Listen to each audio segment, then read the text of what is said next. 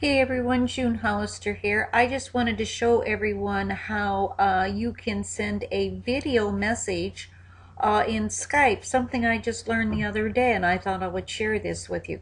So all you do is they have to be offline. Uh, so all you do is right click. I'm going to send this uh, video to my brother. So you right click on the person you want to send the video to. You go up to send video message and this should pop up there we are. So here I am. So then this little this little button right down here says record. So just record. So hi Don. Uh, I just wanted to send you this little video as a test. I'll show you the box that I couldn't actually send to you the other day with your um, DVDs. Uh, okay, so say now I'm already done with this video. All I need to do is click this red button here to stop the video. Here we are. And now I have choices here. I can actually come up here and view the video again if I want to, or I can come down here and I can cancel the video and redo the video, or I can send send the video. So let's just take a look here for a so second. just record. So hi Don.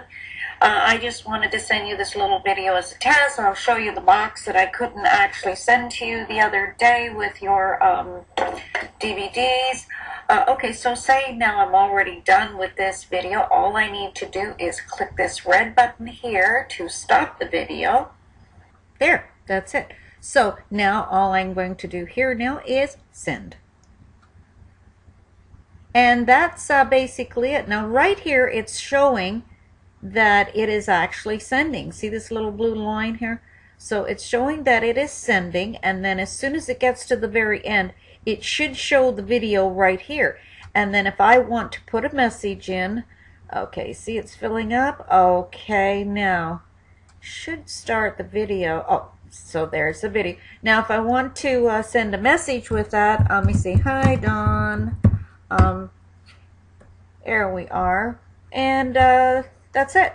Now I can actually, whoops, I put hi, Don. Okay, now I'm going to put a little bit more in there. Let me see. Um, just a test video. Okay, now all I need to do is just click send.